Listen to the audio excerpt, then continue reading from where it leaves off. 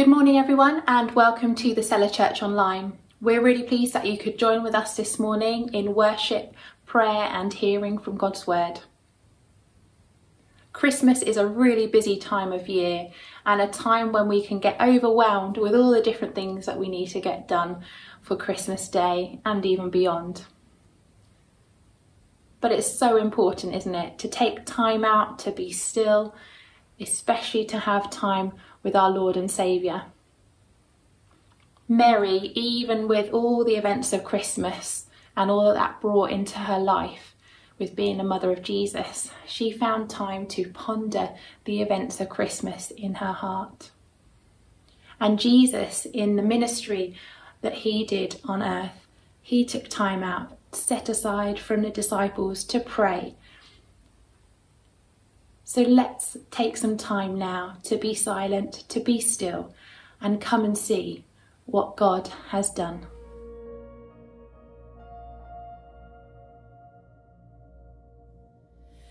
Love incarnate, love divine.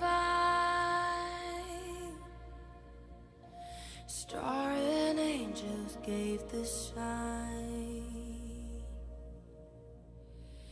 Bow to babe on bended knee, the savior of humanity. Unto us a child is born, he shall reign forevermore.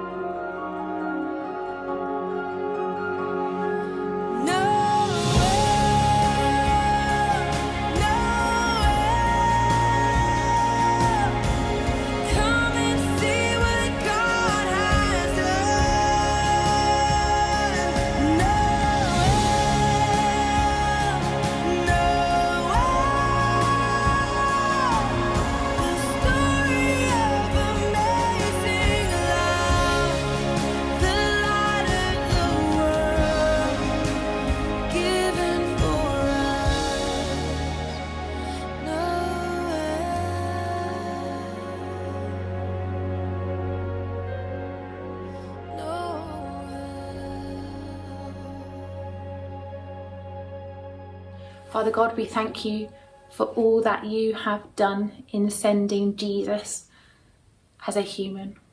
Lord, we thank you that you are God in heaven, the Father God, and yet you sent your Son to be fully God and fully human here on earth.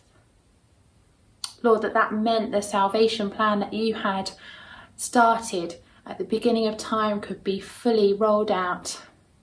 The fact that the events of Jesus being on earth would eventually mean that we could know our sins forgiven, that we could be brought into your family, that we are now co heirs with Jesus Christ. He, we can call him our brother, our friend, and not just our King, our Saviour, and Lord. And Father God, we thank you for that because that's an incredible story.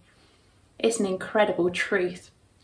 And Lord, just like the shepherds in the Christmas story, we can run out and go and tell those people that we know about what God has done.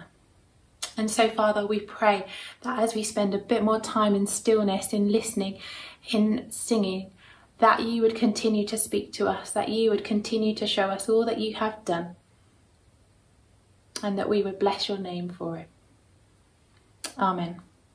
So, we're going to continue singing some familiar words now um, in the words of Silent Night.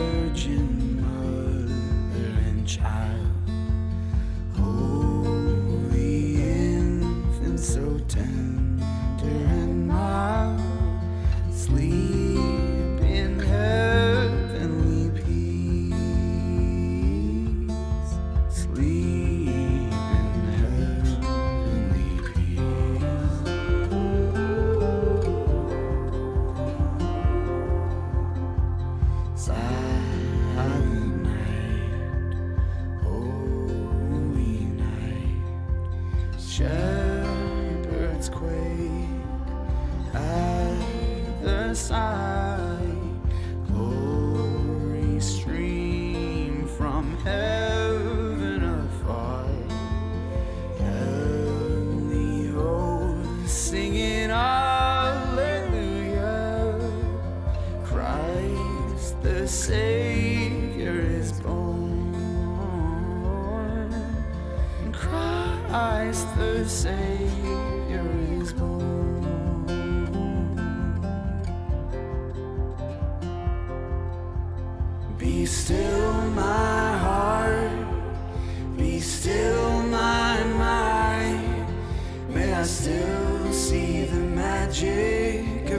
Mystery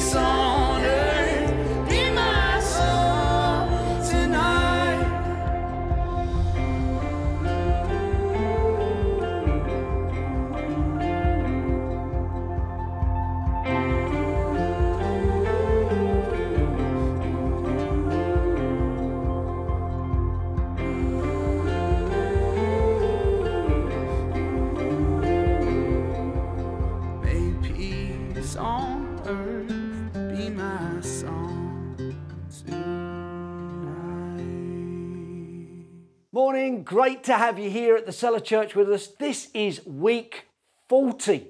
Who would have believed nine months we were going to be doing church online? But here we are, uh, still here, still worshipping God, still taking time to look at God's Word together. And it's great you've joined us this morning.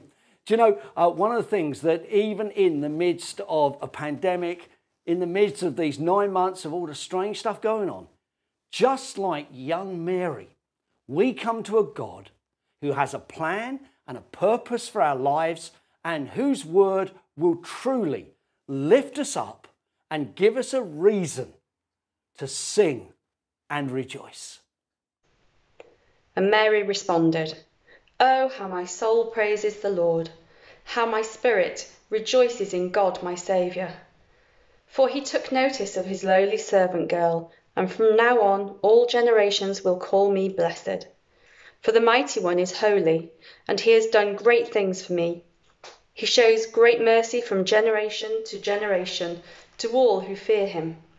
His mighty arm has done tremendous things. He has scattered the proud and haughty ones. He has brought down princes from their thrones and exalted the humble. Let's bow our heads in prayer together. Heavenly Father, we thank you that this is your day and that you give us a reason to give glory to you for your goodness to us, the blessings you've given us. We want to thank you this morning for our families, our friends, our homes, our clothes, things that so often we take for granted. And yet we want to come and we want to bring that glory and praise to you. Lord Jesus, we thank you that you were willing to come to earth, that men and women and boys and girls might hear good news and that you might bring salvation and hope to the nations. Lord, we thank you this morning that we are found together in your presence, led by your Holy Spirit. And we ask that whether we have had a difficult week or a week to rejoice in, that you will indeed lead and guide us. You challenge us by your word, and that we would hear your voice so clearly. You are a great God. You are a wonderful Heavenly Father. And we pray your blessing on this service in Jesus' name. Amen. Well, how amazing was last Sunday evening? Incredible. A drive through nativity where God was so good with the weather, it stopped raining at just the right time and it started raining again when we'd finished, as hundreds of our community were able to come and to uh, experience uh, Christmas through the years and then to hear the true meaning and story of Christmas. I want to publicly thank every single one of you from the TCC family who spent hours in preparation for this evangelistic event. And I know you worked so hard, whether that was behind the scenes or up front on the night or stewarding or however you got involved. We want to say thank you to you. Now, if you missed that or you don't live in our area, here's a flavour of what happened at a drive through nativity.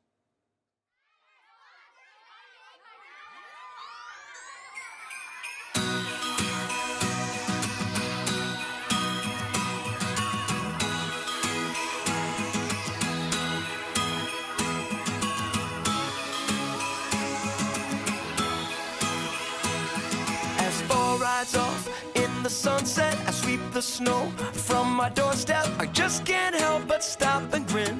It's like I'm 10 years old again. And everywhere I go, I can feel it. Some say it moves like a spirit that falls on us once a year.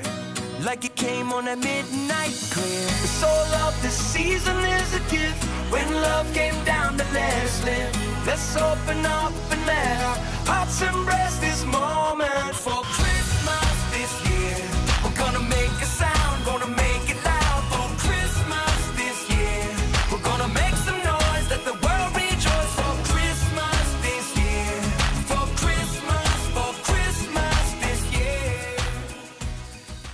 Isn't that brilliant? Thank you, Evan, for putting that together. And please make it a prayer that those gospel gift bags that went into every car on the night would really have an impact on the lives of those who read, who listen, who again are reminded that there is a Saviour and a God who loves them.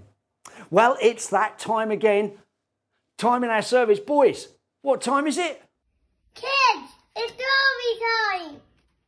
So, kids, I don't know what happens when you go to bed, but maybe your mum or dad, whoever looks after you, reads you a bedtime story.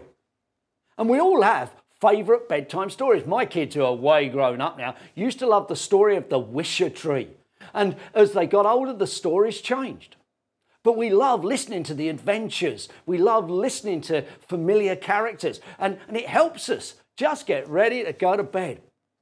But you know, one of the problems with bedtime stories is that often we get so used to them that maybe they stop being a bit special.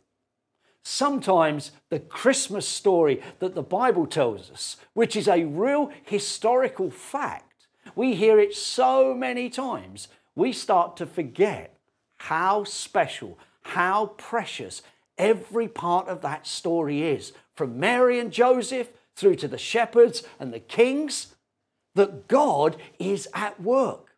And it's not a fairy tale, it is a story about our lives and how much God loves us that He sent His one and only Son.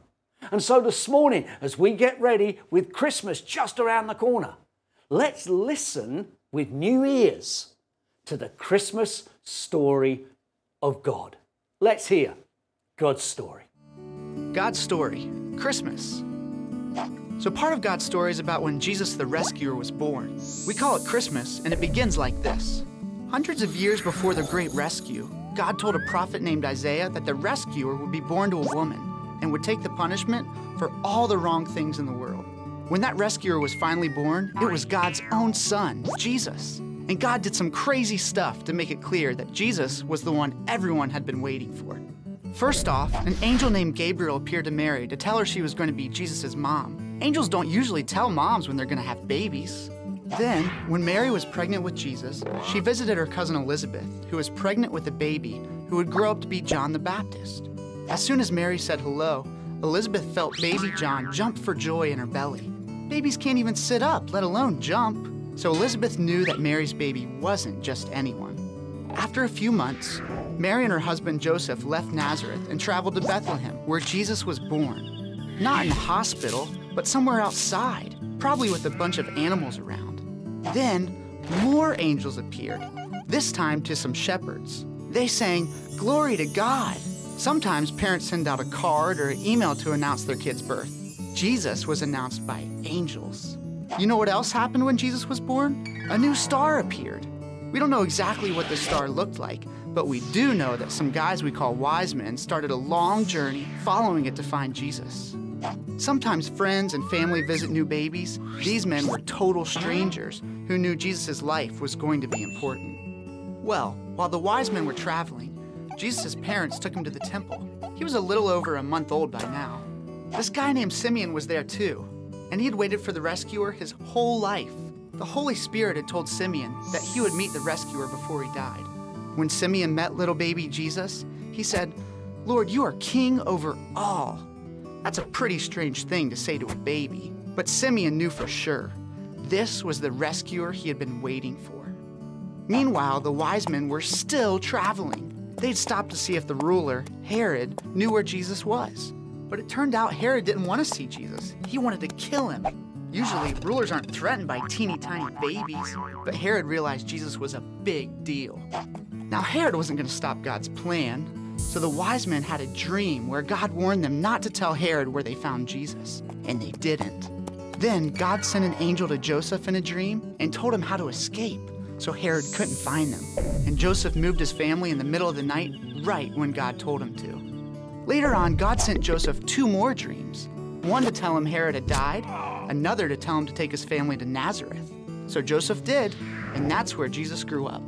The rescuer had finally come, and angels, jumping babies, new stars, old men, total strangers, jealous rulers, and dreams were just a few ways God showed us that Jesus was the rescuer. And that's the story of Christmas. Lights, please. And there were in the same country shepherds, abiding in the field, keeping watch over their flock by night. And lo, the angel of the Lord came upon them. And the glory of the Lord shone round about them. And they were sore afraid. And the angel said unto them, Fear not. For behold, I bring you tidings of great joy, which shall be to all people. For unto you is born this day in the city of David a Savior, which is Christ the Lord. And this shall be a sign unto you. You shall find the babe wrapped in swaddling clothes, lying in a manger. And suddenly there was with the angel a multitude of the heavenly host praising God, and saying, Glory to God in the highest, and on earth peace, goodwill toward men.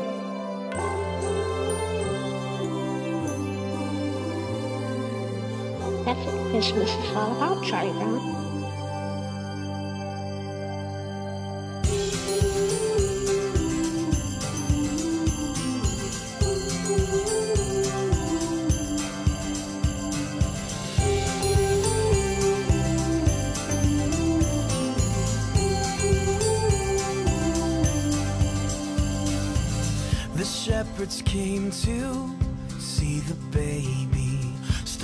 His mother's side. Here lay the Savior inside a manger. Oh, what a glorious night!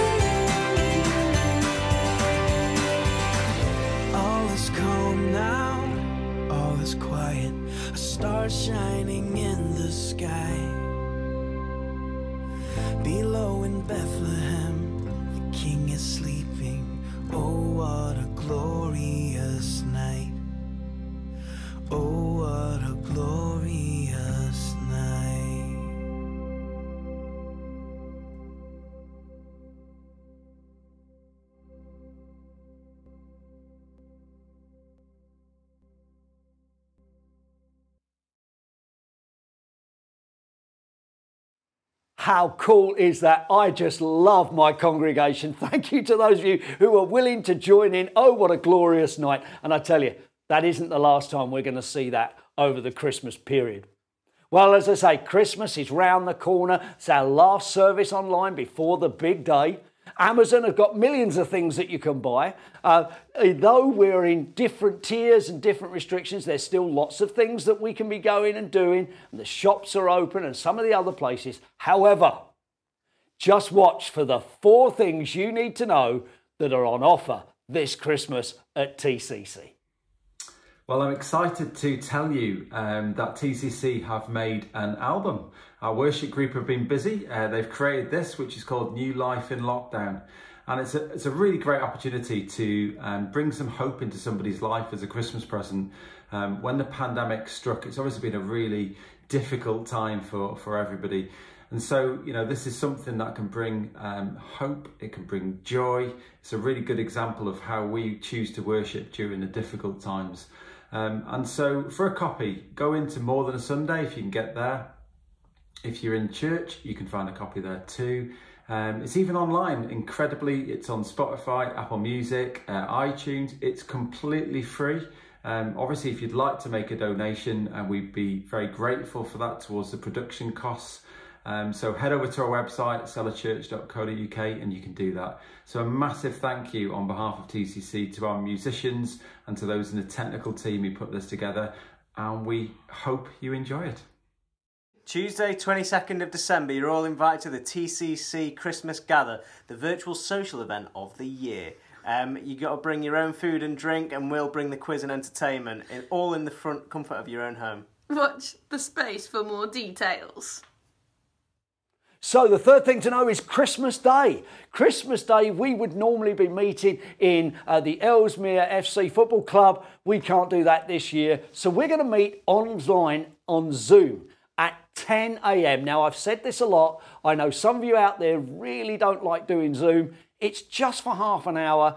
Get online, see other folk in the TCC family or from wherever you are. You can all join us to come on Christmas Day. We're going to look at God's Word. We're going to open some presents together. So bring a present, either wrapped or unwrapped, you've got that morning that we can spend a family time together. 10 a.m.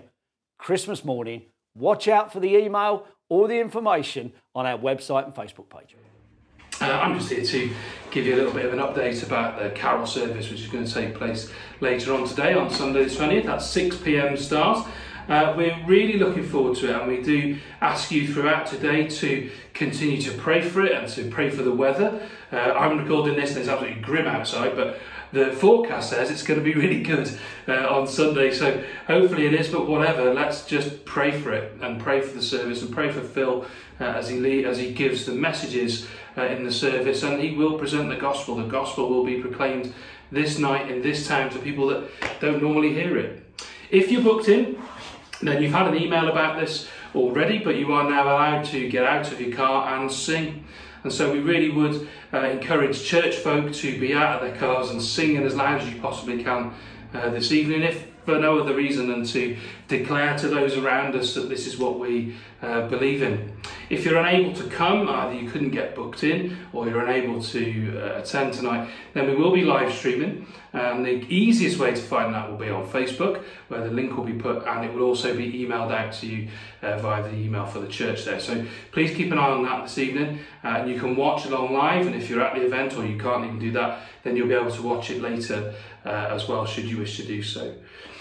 As it stands, and it's now Thursday that I'm recording this, um, there are one or two household spaces for those of you uh, who might want to come as pedestrians. So to park in the car park that's the other side of Tesco and just bring a camping chair uh, and come around and, and, sit with us and take part. Uh, there are one or two of those spaces left, so you, you still have time. Uh, if you either give me a, a ring or email me, uh, WhatsApp me, whatever it is, email the church, uh, address, then hopefully we'll be able to find you a space. So if you've been putting it off, but you really would quite fancy coming, then please do get in touch this afternoon um, and we'll try and find you a space. I think that's it, guys. Please keep praying for it and pray that the gospel message tonight will make a difference in, in people's hearts. Tonight we have an opportunity to proclaim Messiah's birth, the coming of Jesus Christ, and tell our community at that event that Chris has just described for us. Please pray for that. Please be there if you can as we share those special traditional carols and we come again into our community. Christmas, it's been so exciting this year with so much going on. Despite uh, a pandemic, we are here and we are giving glory and thanks to God. Let's hear God's word as it's read for us this morning uh, by Luke, and we hear again about what happened that first Christmas. This reading is from Isaiah 9, verses 6 to 7. For a child is born to us, a son is given to us, the government will rest on his shoulders, and he will be called Wonderful Counselor, Mighty God, Everlasting Father, Prince of Peace. His government and its peace will never end. He will rule with fairness and justice from the throne of his ancestor David for all eternity. The passionate commitment of the Lord of heaven's armies will make this happen. O come, O come,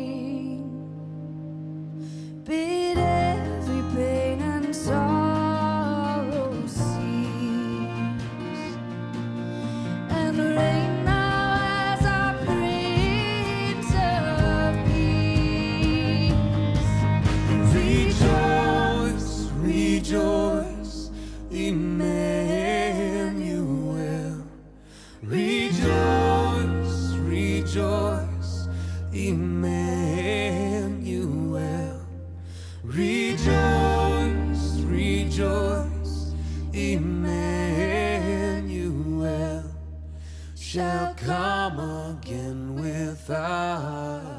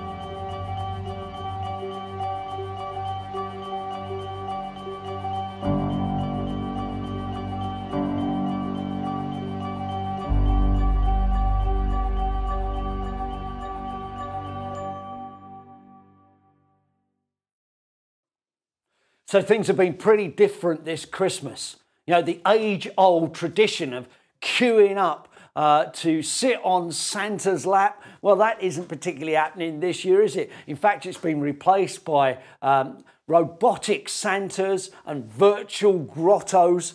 But you know, there are still some things that even if you do not fancy trying to queue up to sit on Santa's lap and have a chat with him, there are some things that even this Christmas have still remained. Not least writing, texting, sending a Twitter message to Santa about the things that you want.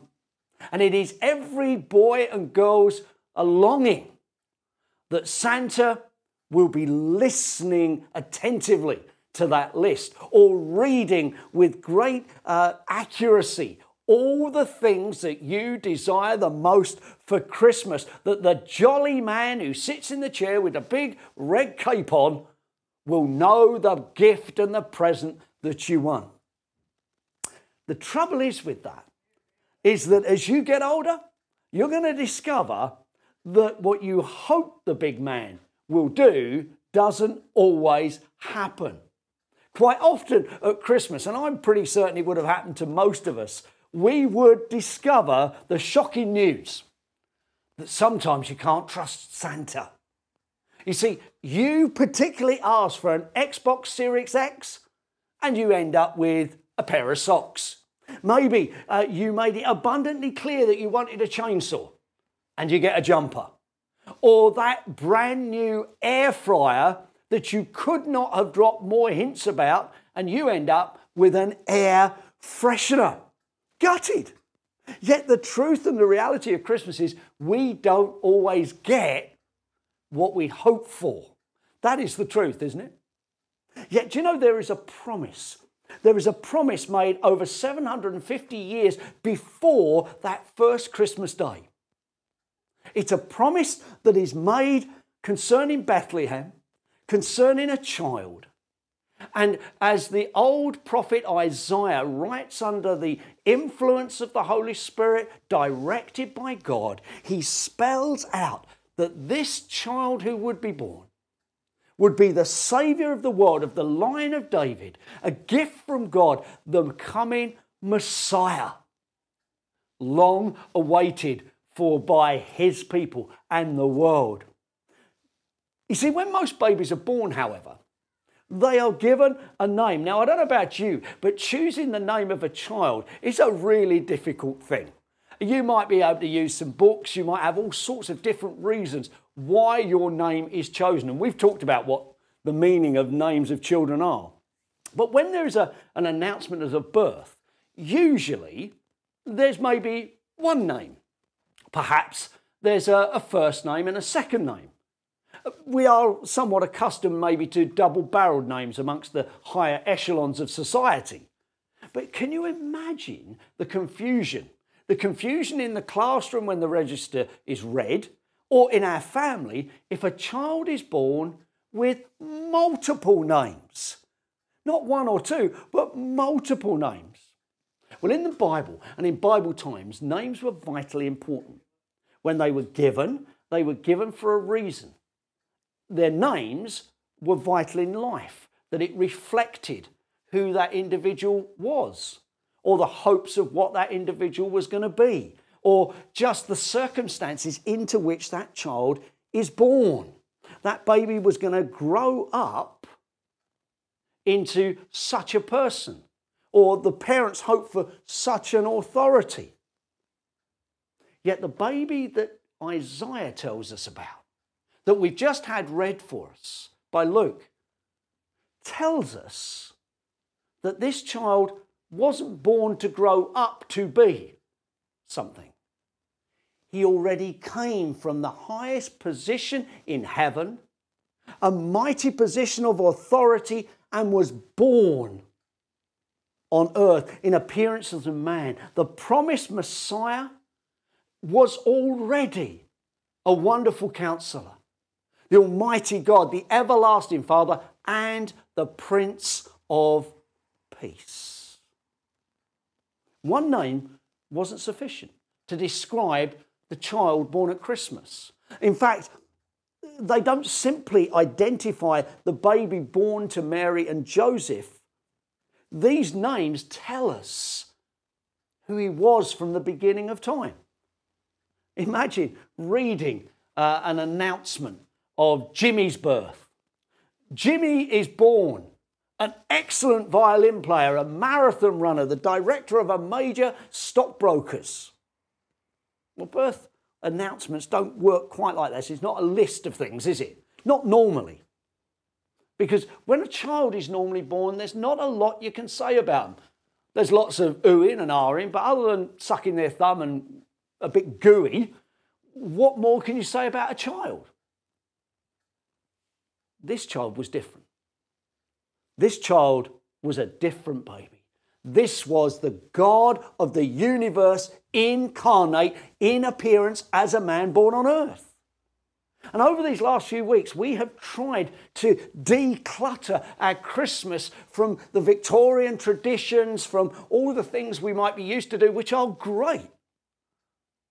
But this Christmas, especially when things are so different, the Prime Minister even has told us, hasn't he, have a smaller Christmas. Well, let's have a decluttered Christmas where we focus our hearts and our minds on the truth of God's Word.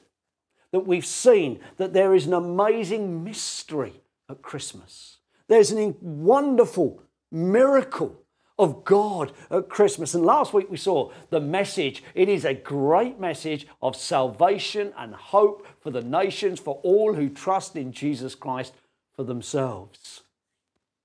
God so loved us that he gave his one and only Son, that salvation for the world would only come through the birth of this child it started way back in Genesis.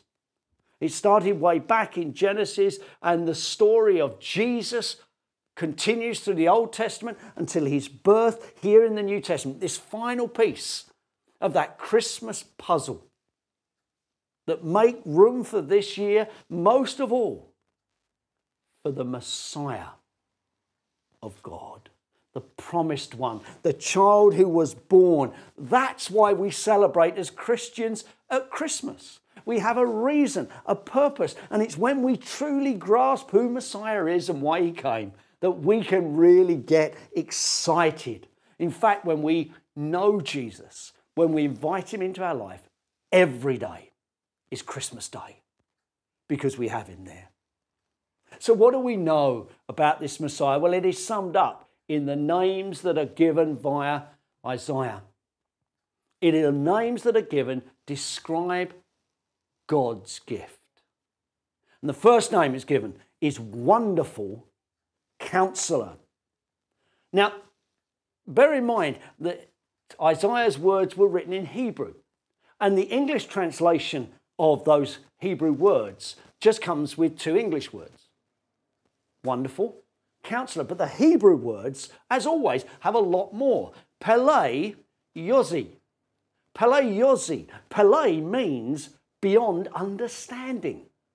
It means too wonderful for words. When Isaiah tries to describe the, the Saviour of the world, he just didn't have enough words to describe him.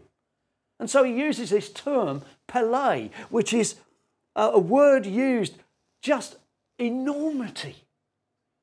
I mean, have you ever gone and stood uh, out, maybe during this week, and looked at the stars when there's no light pollution, and you go, wow, that's a wonderful, that is amazing. You can only just kind of comprehend the millions and millions of lights out there in the sky. It is that kind of taking the words away from your mouth. You can't really say anything. He is too awesome. He is too amazing, just too great for words. Pele. He's wonderful. The second word, Yose, is means counselor. It's a very specific word. It means to be an advisor or a consult, a guide. It was usually used of military terms. Great generals would pull really good advisors around them, those full of wisdom, full of understanding, those were good at strategy on the day that the Son of God was born, this child was given a name. Wonderful, unbelievably awesome as a advisor, a strategist, a guide for the life of the world. This is God. This is God in flesh, the Alpha and the Omega, the beginning and the end. And He is the one who cares for us. And do you know what makes him the best, the most wonderful counselor, the most wonderful guide? This God understands what you are going through. He understands what you are going through and where you're at. He understands your hurts and your joys. He understands your struggles. He understands your emotions. He understands your sickness. Why? Because He has been there. I love the description that we're given in Hebrews chapter 4. Hebrews chapter 4 reads like this For we do not have a high priest who is unable to empathize with our weaknesses, but we have one who has been tempted in every way, just as we are, yet he did not sin. Oh, what a wonderful counselor he is. Jesus has been through the things that you are living through right now. You may feel very alone in your troubles and your trials, but Jesus has been there. He is a counselor who will take you by the hand and lead you. He was tempted in every way, yet he did not give in to that sin. He understands your pain, he understands your hurt, he really does know what you're doing and where you're at today. That's the kind of guide that you have, who understands, but more than that. As the angels sang, as the shepherds rejoiced, as the Magi traveled for two years to get to find this child, this baby laying in Mary's arms, they come to one who not only understands, but who is able to give leadership and guidance to each of us. He is the best guide to travel through this life and into eternity. Maybe for some of you, you haven't yet grasped that. And you're like a ship without a rudder in life. You have no idea where you're going or what's going on. Friend, Jesus Christ is the perfect guide, the most wonderful counselor who is today offers to lead and to guide you and to hold you in his arms. When we read the Bible, when we read God's word, we come to a God who we worship this morning, who loves us so much, who wants the very best for us if we allow him to take our hand. Listen to what we read in Proverbs 3 and verse 6. Seek his will in all you do and He will direct your paths. Do you know this wonderful counselor? The second name that we have here is Mighty God or Almighty God. What a description that is.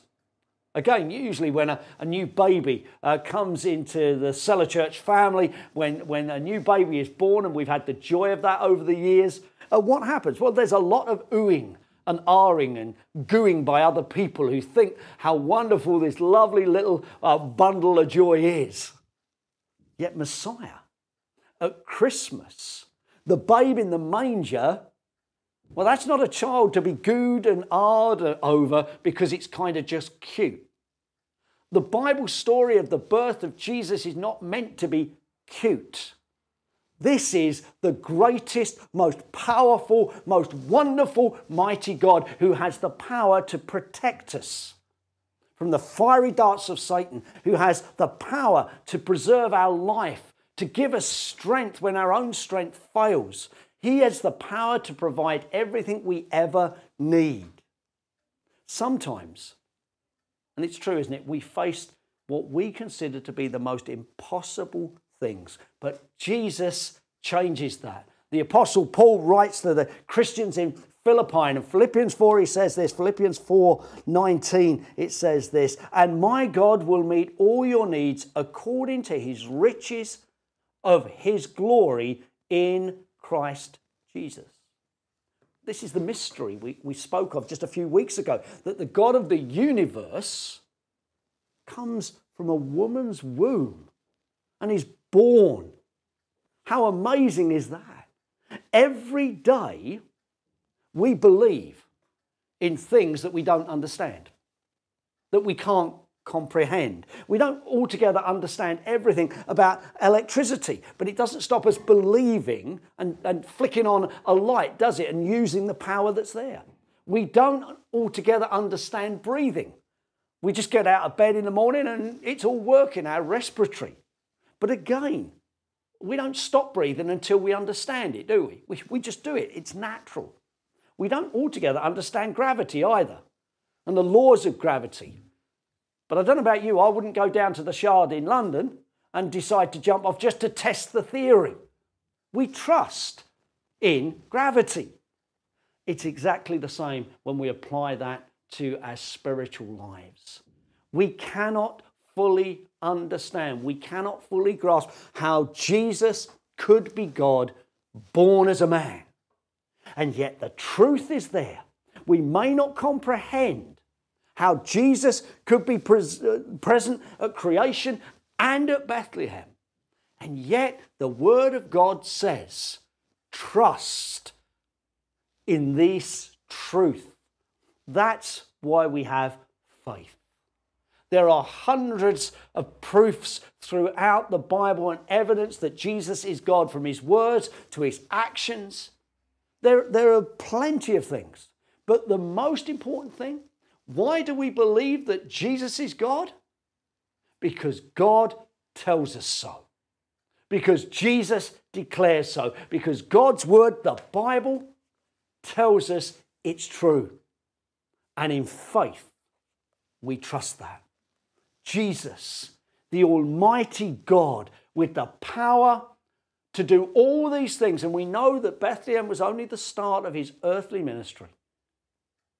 For he came to a cross as a sacrifice for my wrongdoing and your wrongdoing, and he has the power as the Almighty God, the only one who can do this, to bring us from death to life, to forgive our wrongdoing of the past and the present, that we might be righteous and clean before a holy God. This is our God, the greatest of guides the Almighty God, and then the everlasting Father. Few words in the English language, I think, uh, kind of invoke the kind of feelings that we might have when we hear the word Father. For some of us, at Christmas, that's a sense of loss. Either because our fathers who were wonderful but are no longer with us, or because our fathers didn't fulfill the longings or the responsibilities of a father should at Christmas. And so we're sad when we remember that. How comforting, though, to read this that Jesus, when he was born, this child, when he came, was an everlasting father, a father of truth, under his care, under his protection, under his provision, under his love. Those who trust in him are safe and satisfied. I was really blessed with my relationship with my dad, who uh, passed away a number of years ago, but we had a great relationship. And I always felt safer when I was near him. I always felt more confident when I was alongside him, more secure. When dad was standing next to me, it, it was a good feeling, it was a right feeling. And I miss that. It's amazing, though, how our concept of God is shaped and molded by the image that we have by our heavenly fathers, by our earthly fathers, rather. And those of you who are dads here, you have a responsibility to your kids to set that example because it will stay with them. Whether our fathers were good or bad here on earth, our heavenly Father, God, is the greatest, the most perfect, with unconditional love. John 3:16 for God so loved the world that he sent his son. And that son that son is described as the Father. Here is the triune God working together. Jesus is never going to leave us or never going to forsake us. Our earthly fathers may have done that, but He will not. He remains the same, the most awesome advisor, the most almighty God, and the most precious, loving Father that we will ever have. Then there's a final name for Messiah, a final description that Jesus is given here. Jesus, the very name, sets out a promise. And it is a promise that our world longs for, probably today more than it has ever done. For this baby born is the Prince of Peace, the ruler of peace. Perhaps it's the greatest benefit for the Christian. For those of you and I who have asked Jesus into our life, our greatest benefit is salvation, is Jesus brings peace.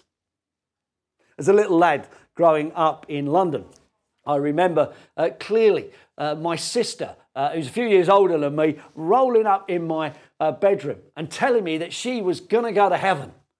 Uh, and I remember thinking as a kid, well, that's a bit weird. Is she going now? Uh, what's going on there? And she explained that she had asked Jesus into her life. And that meant she was certain of heaven. Well, as a kid, I, I thought I knew everything. I, I knew the Bible stories, I, I, could sing all the songs. Those days, I could remember all the actions to the King's songs as well. Kind of lost that ability, as most of you will know. But I thought I had it all sorted. I thought I was okay with God. But then, as I talked to my parents and read more of the Bible, I realized I wasn't. And I knelt down at my bedside and I asked Jesus into my life to be my Lord and Savior, to forgive me for every wrong thing I've done. And for the first time, I experienced peace. Did that mean the troubles around me went away? No. But it meant that there was a settled path in my life without Christ in our life, without Him in our lives, it marks with fear at all times, that knot in our stomach, uh, fear of dying, fear of living, fear of consequences, fear of sin, fear of the unknown. Yet, friends, the baby in the manger, God Himself has promised, I will give you perfect peace. The great preacher of the 19th century, C.H. Spurgeon said this God does nothing by halves, but does everything by doubles. I love that. God doesn't do anything by halves, but God does everything by doubles, over and above. And when it comes to his peace, when it comes to settling our lives, he has doubled up on that for us as Christians. See, the Hebrew word, it's a really familiar word for peace, is shalom. And in the Hebrew language, whenever anything is repeated, it intensifies it. It, it makes it more important. So when the angels come to those shepherds, they declare not just shalom, but shalom, shalom, perfect peace. God wasn't satisfied with just one. God wasn't satisfied by just saying, well, you're going to be okay. He says, no, no, shalom plus shalom. Again, Isaiah 26 in the Old Testament, uh, when the prophet writes there in verse 3, he says this, and God says, You will keep in perfect peace those whose minds are steadfast because they trust in you. Did you hear that? Our minds are steadfast when we trust in the babe of Bethlehem. Here's the promise. Here's the promise. At the end of a traumatic year of turmoil, perfect peace. Unclutter your Christmas, friend. Push to the sides all the things over this season which just kind of cram in on you the worries, the anxieties, the things that need to be done. And just take a moment to remember Jesus, the Messiah, who came for you. This Christmas, your hopes and your dreams, all those things you've really longed for, well, as we said at the beginning, the truth is the fat, jolly man in a red suit doesn't always deliver. He will let you down. But I can guarantee you this morning the babe who was born in Bethlehem, Messiah, Emmanuel, God with us, Jesus Christ will never, ever let you down. So here's the question. Here's the question before Christmas Day that you need to answer Is there room in your life the Saviour of Christmas? Will you push aside all the things that may stop you coming and bow in the knee? Make room for Him in your life and trust Him today.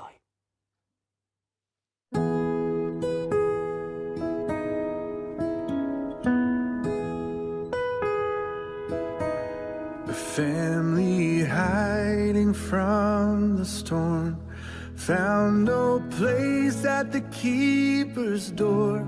It was for this a child was born to save a world so cold and hollow. A sleeping town they did not know that lying in a manger low, a had no home has come to heal our sorrows. Is there room in your heart? Is there room in your heart? Is there room in your heart for God to write his story?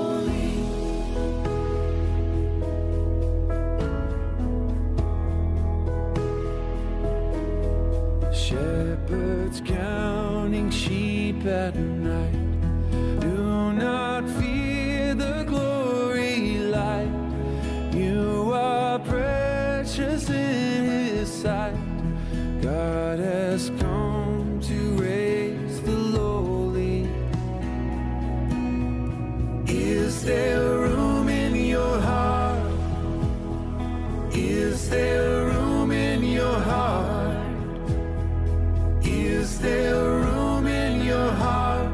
God to write his story? You can come as you are, but it may set you apart when you make room in your heart and trade your dreams for his glory.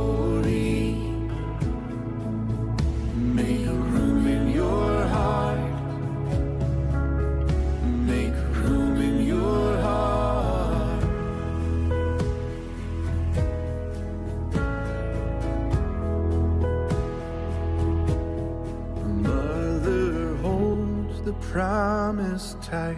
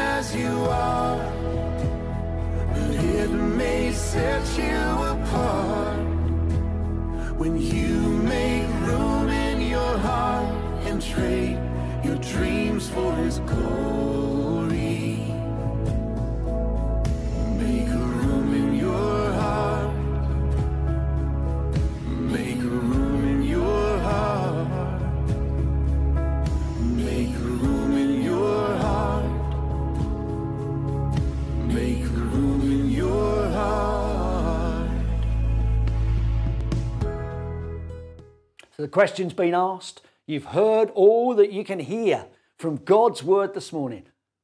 Will you trust Him? Maybe you don't know how to do that. Maybe you're not sure. How do you ask Jesus into your life? Well, I'm going to pray a prayer. This is a prayer that you can pray along to, or you can just simply say Amen to in order to ask Jesus to be your Lord and Saviour. Let's bow our heads. Dear Lord Jesus, I thank you for the fact that you have loved me so much and this world that you came as a baby in Bethlehem. I trust you with my life this morning. I ask you to forgive every wrong thing that I have ever done, and I ask you to be Lord of all my life from this point on, to help me to follow you, to be obedient to your word. Please accept me and wash me clean. I love you. I long to learn more about you. But from this day forward, I wish to be your child.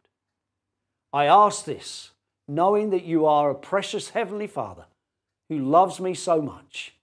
In Jesus' name, Amen. Friend, if you prayed that prayer, get in touch with us via the Facebook page or website, and we will seek to encourage you in your newfound life in Jesus. Let me close by reading some words again of the Apostle Paul as we close our service from 1 Timothy 3 and verse 16. It says this Without question, this is the great mystery of our faith. Christ was revealed in human body, vindicated by the Spirit. He was seen by angels, announced to the nations. He was believed throughout the world and taken into heaven in glory. One day he's coming again. I hope you have an amazing Christmas. Lord bless you. Remember the reason for the season, and thanks for joining us this morning. See you soon.